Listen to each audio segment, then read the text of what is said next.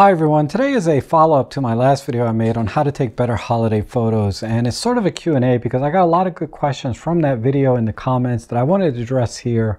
I just thought it'd be easier to make a video than to try to type everything out uh, and hopefully avoid some confusion. Basically the first question was from William Hanson and he said, could you please do this again with the FL LM3 flash? He says, I use red eye mode but had to go high on ISO and I was handheld because it was a big Christmas dinner and I used eye focus 2 at f8 to f11 and you also you stated that you're keeping warm colors off which I recommended. And you're at a fluorescent white balance. Alright so there's a lot to unpeel there. And for those of you not familiar uh, the FL LM3 is this little tiny flash that used to come with the Olympus cameras.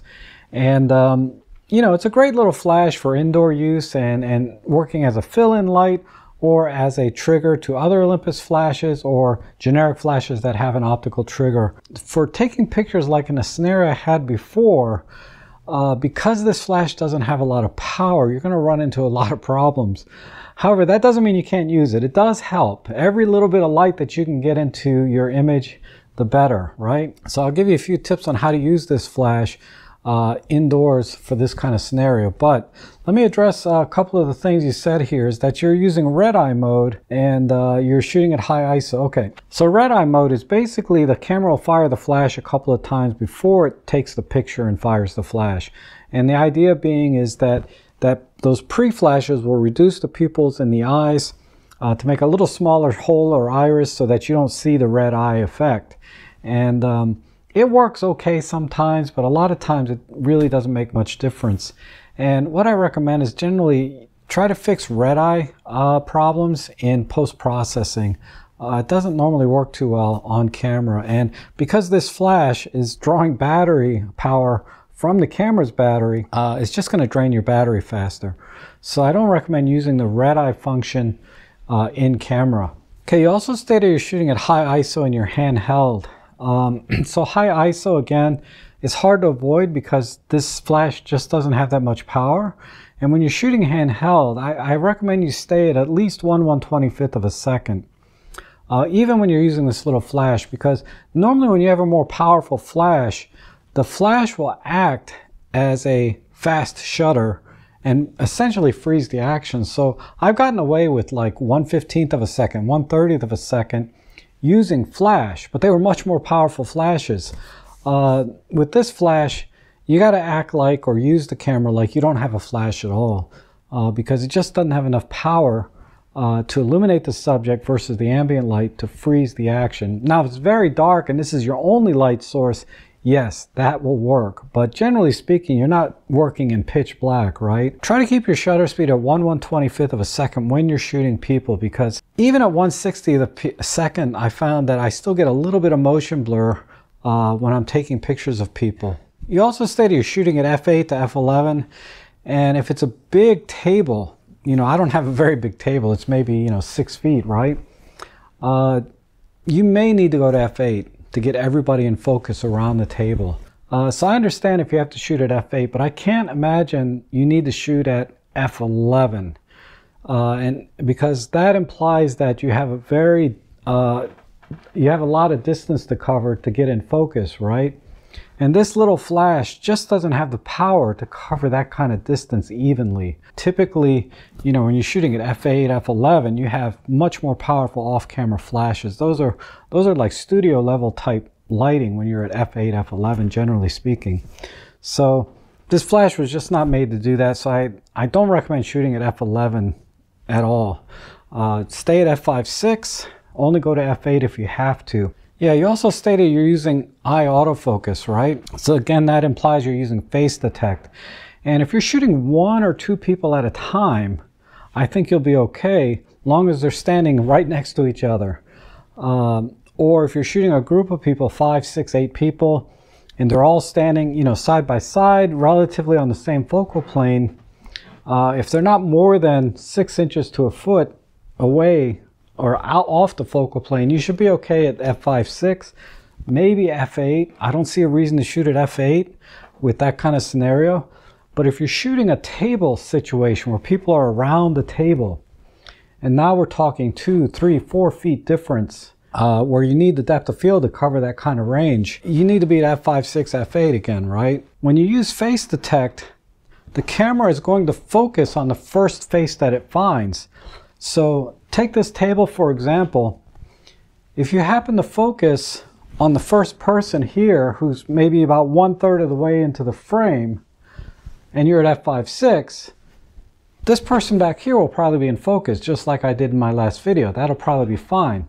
However, if, you if the camera decides to focus on the person back here first, probably everybody from here forward is going to be out of focus. What you need to do is just manually pick your focus point to autofocus on. So again, I would pick about one third of the way in the frame at f5.6 for this particular scenario. If it's a much longer table, yeah, you might need to go to f8.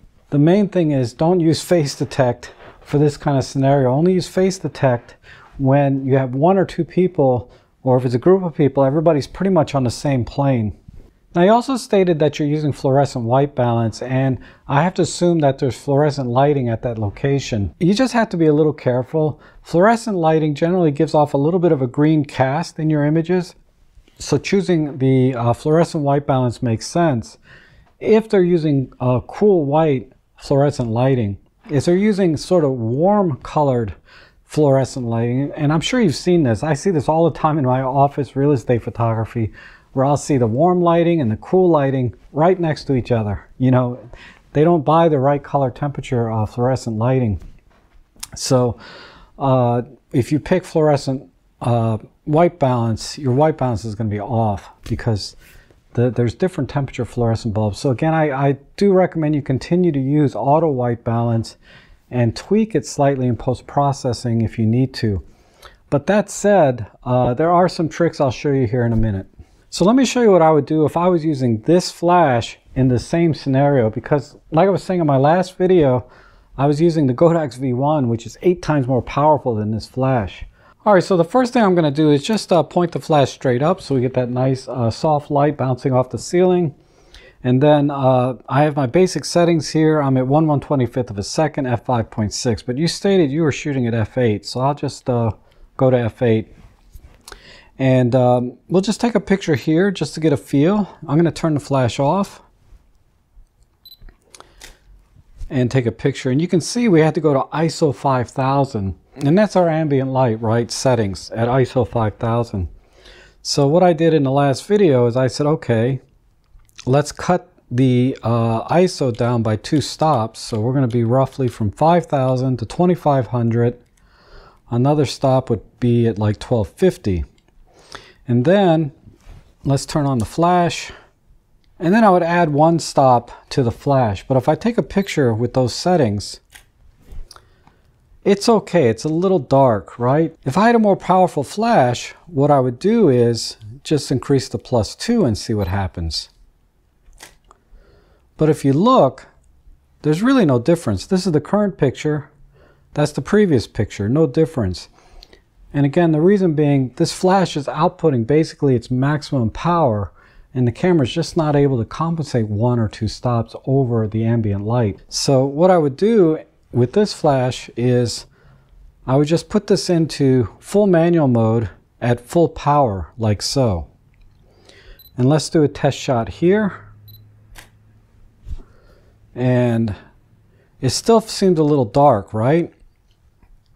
I mean, we really didn't change anything because the flash was firing at full power before. So I'm just going to increase the ISO until, let's try two thirds, until it looks, it looks good. And, and, and you can, you can kind of gauge this by your histogram.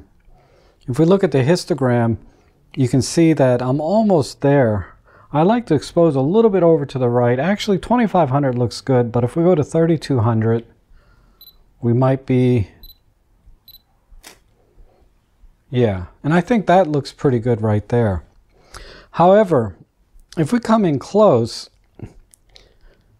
the ambient light is still pretty strong, so there's still a little bit of a yellow cast over the entire image because again, the flash is not outputting enough of its own light to overcome the yellow cast from the tungsten lighting.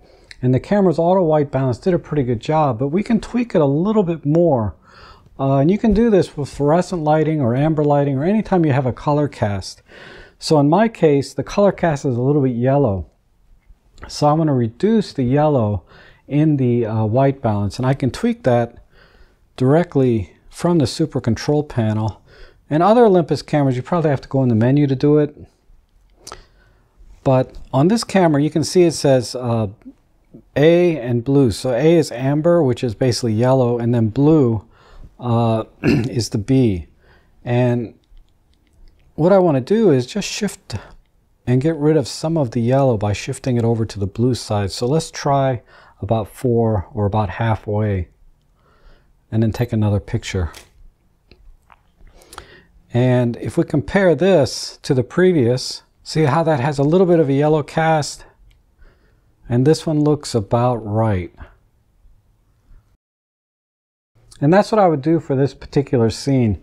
Now, if you're in fluorescent lighting, what I would do instead of shifting it from amber to blue, remember how I said the fluorescent lighting gives off a little bit of a green cast? I would shift it about a negative 4 and take a picture and see what that looks like. Now I don't have fluorescent lighting here, so what it looks like now is now it has a slight magenta cast, right? But in fluorescent lighting, this should balance out nicely. All right, so that's all the questions I have for now. And uh, if you found this video helpful, consider subscribing, hit the like button, maybe buy me a coffee or make a small donation so that I can keep making these videos.